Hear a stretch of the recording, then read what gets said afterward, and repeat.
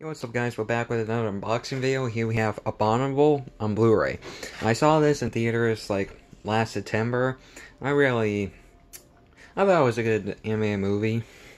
So yeah, it includes two original shorts, Blu-ray, DVD, digital. I will be giving away the digital copy. If you guys want make sure to be a subscriber, leave a like on this video, hit the bell, to be notified for new videos. And also include a comment saying your Gmail so I can send you a message for the code. So, Here's the front. Really love this slipcover. It's the spine. Our spine. The back. From the creators who brought you How to Train Your Dragon. Plus Kushima Pawns and Reed. Uh, special features, two original shorts, the scenes, animating, abominable, your Yeti care guide, and more. It's rated PG for some action and mild root humor, and the short is rated G, and it's an hour and 37 minutes. Here's the actual Blu-ray case. Let's open it up.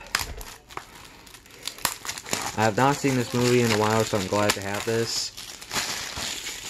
Alright, let's take this out so I won't show the code.